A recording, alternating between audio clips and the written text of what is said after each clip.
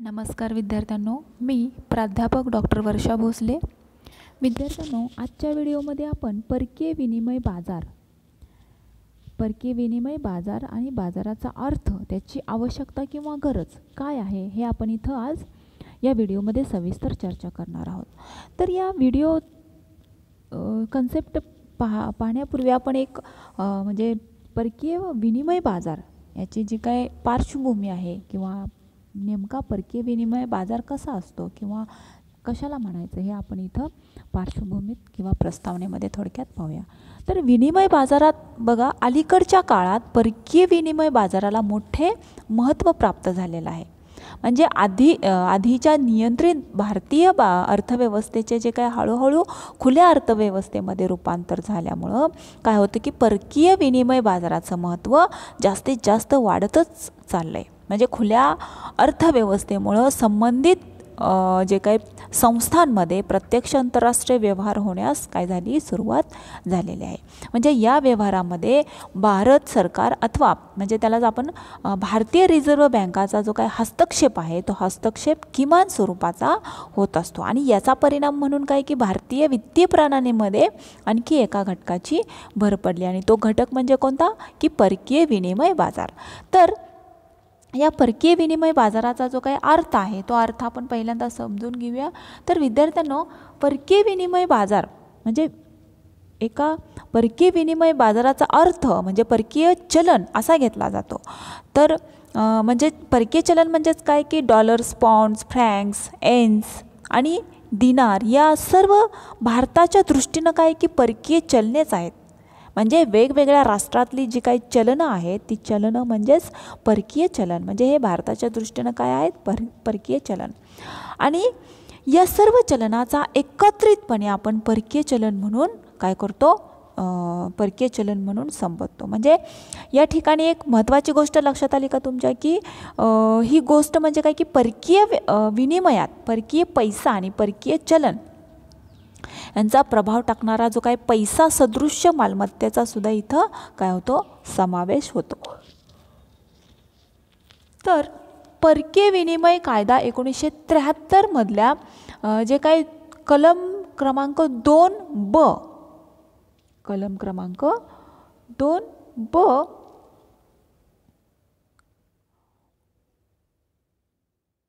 तर आपण म्हणजे कलम क्रमांक दोन ब अशा पद्धतीचं जे काही कलम आहे कोणतं? एकोणीसशे त्र्याहत्तरमधलं तर हे एकोणीसशे त्र्याहत्तरमधल्या कलमानुसार जे काही परकीय विनिमय किंवा परकीय चलन किंवा परकीय विनिमय बाजार म्हणजे काय हे आपण इथं व्याख्याद्वारे समजून घेऊया. तर बघा परकीय विनिमय म्हणजे सर्व ठेवी पथ परकीय चलनात देय असलेली उर्वत उर्वरित रक्कम धनाकर्ष प्रवासी धनादेश पतपत्र भारतीय चलनात काढलेल्या परंतु परकीय चलनात देय असलेल्या हुंड्या म्हणजेच काय? परकीय विनिमय बाजार. लक्षात आलं?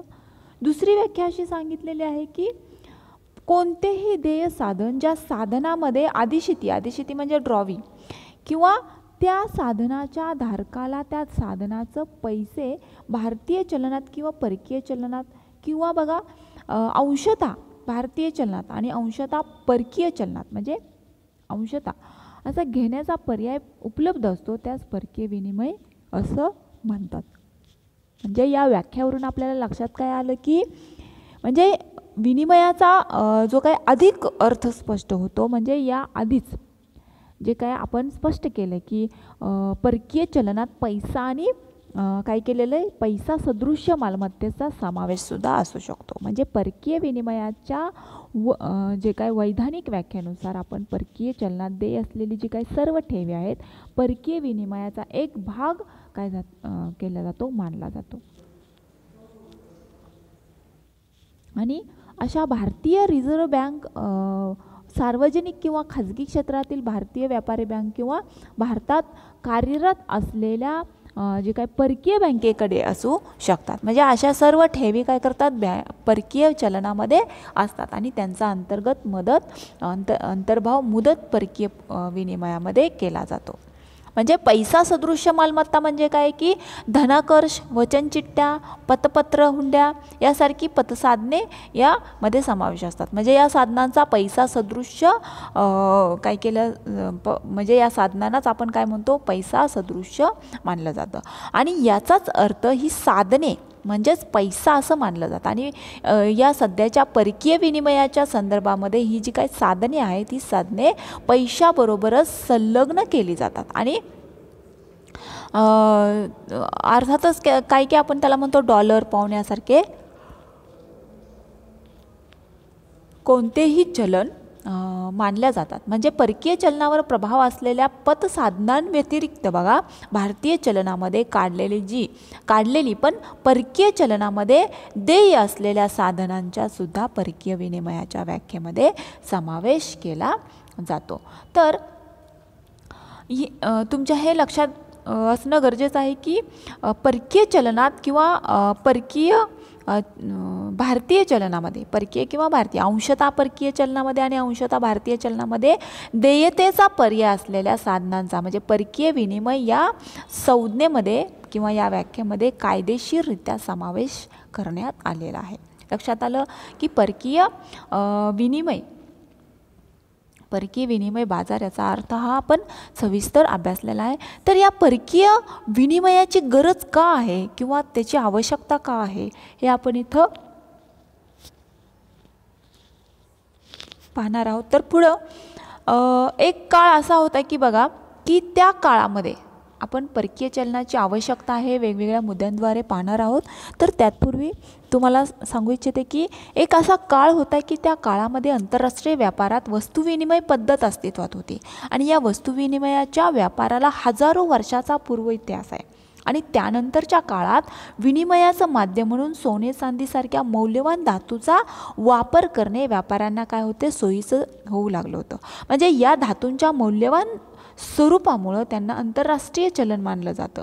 आणि त्यामुळं विविध देशातील व्यापार सोने किंवा चांदी चांदीमध्ये होत असलेल्या या सोन्या चांदीची जी काही वजने आहेत किंवा सुस्वरूपतेची जी काही संज्ञा आहे ती व्यवस्थित ठरवलेल्या आणि पाळल्या जात असल्यामुळे कोणत्या देशात बन बनलेले जे काही सोने कोणत्या देशात बनलेले जे सोने किंवा चांदी आहे याला महत्त्व दिले जात नव्हते. तर ते फक्त ठरवलेल्या मानकानुसार लक्षात आलं? जे काही ठरवलेली मानके आहेत ठरवलेल्या मानकानुसार आहे की नाही एवढंच ते बघतलं बघितलं जात असायचं. परंतु बघा एकोणीसशे तीसमध्ये जगातील सर्व देशांनी सुवर्ण मानकाचा जो त्याग केला त्या त्यागामुळं व्यवहारपूर्ती काय झाली? स्वच्छंदी आणि आंतरराष्ट्रीय निगमांचा ठरवलेला जे काही नियमानुसार ती काय झाली?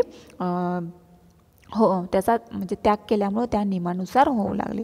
म्हणजे सुवर्ण मानकाच्या सोयी सोयीस्करपणाचा जो काही सोयीस्करपणाच्या तुलनेमध्ये आधुनिक वित्तीय प्रणाली इतकी गुंतागुंतीची बनली की इतर रा आंतरराष्ट्रीय देणेघेण्याची सुलभता पद्धत जी काय आहे ती शोधून काढणे शक्य झाले नाही. म्हणजे जगातील विविध देशामध्ये व्यवहार व्यापार हो म्हणजे व्यापार व्यवहार होत असताना अशा देशाकडून म्हणजे ज्या देशाकडून माल किंवा सेवा घेतलेली असते त्या देशाला त्या त्याचे पैसे त्याच्या चलनामध्ये द्यावे लागतात. म्हणजे याचा संबंध काय की व्यापारी शे शेषाशी म्हणजे व्यवहार तोल याची जोडला गेला. म्हणजे व्यापार शेष हा व्यवहार आंतरराष्ट्रीय व्यवहार ताळेबंदाचा फक्त एक भाग आहे.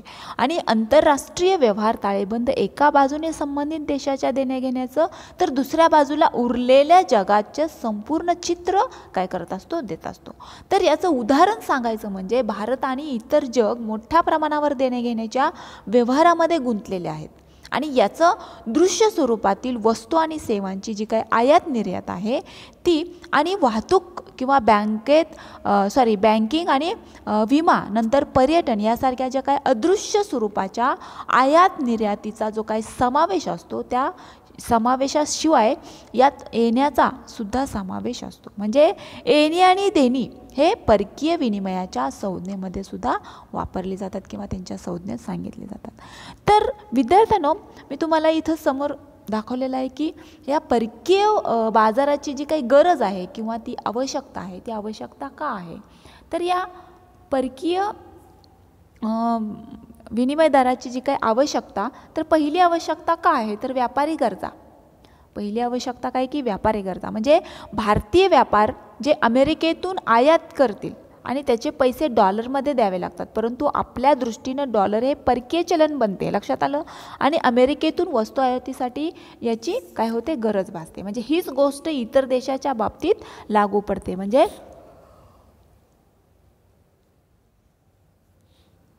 जी हे जी आपल्या आयातीसाठी म्हणजे एन एनसुद्धा परकीय चलन आहे दिनार किंवा मार्क्स रुबल्स यासारखी जी काही परकीय चलनाची आपल्याला काय होते? आवश्यकता भासते. पुढचा मुद्दा असा आहे की इतर व्यवहारांच्या गरजा इतर व्यवहारांच्या गरजा. तर इतर व्यवहार म्हणजे काय? की इतर व्यवहार म्हणजे जे सांगितल्याप्रमाणे अदृश्य गोष्टींची जी काय आयात निर्यात व्यवहार आहे तो आणि यासाठी यासाठी सुद्धा परकीय विनिमयाची काय असते? गरज असते. म्हणजे भारतात येणाऱ्या परकीय पर्यटकांना भारतीय रुपयांची गरज असते तर परदेशामध्ये शिकणाऱ्या भारतीय विद्यार्थ्यांना जे राहत असलेल्या देशांच्या चलनाची काय असते? आवश्यकता असते. म्हणजे भारतीय कंपनीनं नायजेरियामध्ये किंवा नेपाळमध्ये कारखाना स्थापन केला तर त्या कंपनीला भांडवल गुंतवण्यासाठी नायजेरियन किंवा नेपाळी चलनाची काय असते? गरज भासते. आणि त्याप्रमाणे पैसा देण्याची गरज ही विम्याची हप्ते भरणे किंवा बँकेचे कमिशन किंवा दलाली देणे व्याज देणे यासारख्या कारणांसाठी निर्माण झाले असेल तर या सर्वांसाठी परकीय विनिमयाची काय असते? गरज असते किंवा आवश्यकता आपल्याला भासते. पुढचा मुद्दा आहे की भांडवली व्यवहार. तर देशामध्ये बघा अनेक मार्गाने परकीय भांडवलाची गुंतवणूक होत असते. उदाहरणार्थ अनेक देशांना काय होतं की समभागामध्ये भागीदाराची गरज असणारा जो काही सहयोग किंवा भांडवल असतो. तो खाजगी क्षेत्रातून किंवा खाजगी क्षेत्राला दिलेले कर्ज किंवा प्रत्यक्ष परकीय गुंतवणूक अशा प्रकारे जे काय भारतामध्ये त्याचे भांडवल गुंतवलेलं असतं या सर्वांचा स्वीकार आणि देणे हे परकीय विनिमयातच केलं जातं. लक्षात आलं? पुढचा मुद्दा असा आहे की त्या भांडवली व्यवहारामध्ये कोणकोणते घटक आहेत? तर त्यामध्ये पहिला घटक आहे की कर्ज किंवा पतव्यवहार. कर्ज किंवा पतव्यवहार. तर या कर्ज किंवा पतव्यवहारामध्ये बघा की सर्व व्यवहार सर्व व्यवहार हे